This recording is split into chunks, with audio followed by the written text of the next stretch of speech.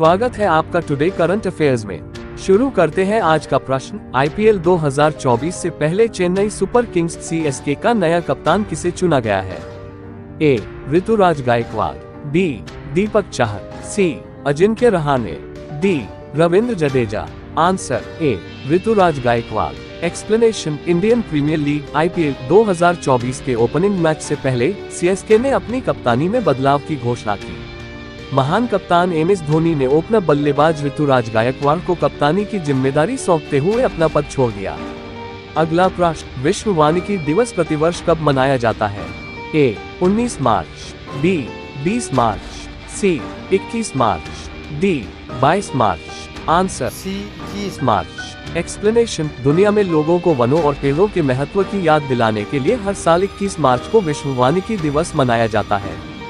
संयुक्त राष्ट्र महासभा ने साल 2012 में विश्व वानिकी दिवस मनाए जाने की घोषणा की थी। विश्व वानिकी दिवस 2024 का थीम वन और नवाचार बेहतर दुनिया के लिए नए समाधान, forest and innovation new solution for a better world है। अगला प्रश्न। संघ लोक सेवा आयोग ने सिविल सेवा प्रारंभिक परीक्षा 2024 को स्थगित करने का निर्णय क्यों लिया है? ए. आवेदकों की कमी के कारण। बी. आम चुनाव के कारण। सी. महामारी के कारण, डी, प्रशासनिक मुद्दों के कारण, आंसर, बी, आम चुनाव के कारण एक्सप्लेनेशन संघ लोक सेवा आयोग यूपीएससी ने सिविल सेवा प्रारंभिक परीक्षा 2024 को स्थगित करने का निर्णय लिया है। परीक्षा 26 मई 2024 को आयोजित होने वाली थी।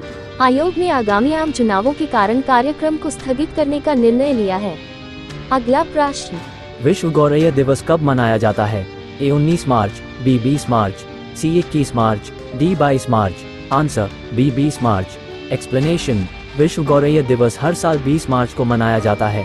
ये नेचर फॉरएवर सोसाइटी भारत और इकोसिस एक्शन फाउंडेशन फ्रांस के मिले जुले प्रयास के कारण मनाया जाता है। विश्व गौरैया दिवस का उद्देश्य गौरैया की आबादी में कमी और उनके संरक्षण की आवश्यकता के मुद्दों को प्रकाश में लाना है।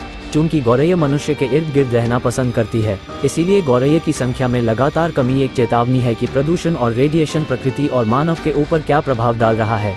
विश्व गौरैया दिवस 2024 की थीम आई लव स्पैरो है। अगला प्रश्न। हाल ही में फूलदेई त्योहार कहाँ शुरू हुआ है? A, Madhya Pradesh, B, Andhra Pradesh, C, Uttarakhand, D, Gujarat, answer, C.